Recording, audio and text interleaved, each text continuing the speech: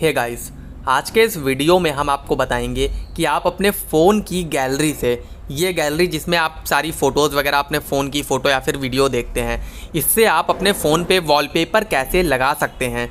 तो इससे वॉलपेपर लगाने के लिए सबसे पहले तो आप गैलरी ओपन कर लीजिए अपने फ़ोन में और गैलरी ओपन करने के बाद आपको फ़ोटोज़ वगैरह दिख जाएँगी यहाँ पे इस टाइप से कुछ। तो जिस भी फ़ोटो का आपको वॉलपेपर लगाना है, आप उस फ़ोटो पर कर लीजिए क्लिक यहाँ पे, ठीक है?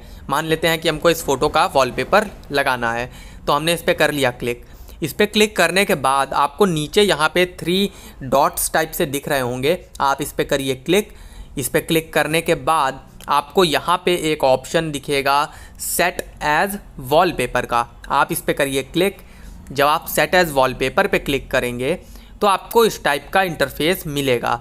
अब यहाँ पे आपको क्या करना है? अप्लाई पर क्लिक जब आप अप्लाई पर क्लिक करेंगे तो यहाँ पे आपसे तीन ऑप्शन दिखा रहा है। तो अगर आपको होम स्क्रीन पे लगाना है वॉलपेपर की तरह तो आप यहाँ पे सिंपली कर दीजिए set as home screen and अगर आपको लॉक स्क्रीन पे लगाना है तो आप सेट एज लॉक स्क्रीन कर दीजिए। अगर आपको दोनों जगह लगाना है तो आप सेट बोथ कर दीजिए। मान लेते हैं कि हमको होम स्क्रीन पे लगाना है तो हम क्लिक करेंगे सेट एज होम स्क्रीन पे।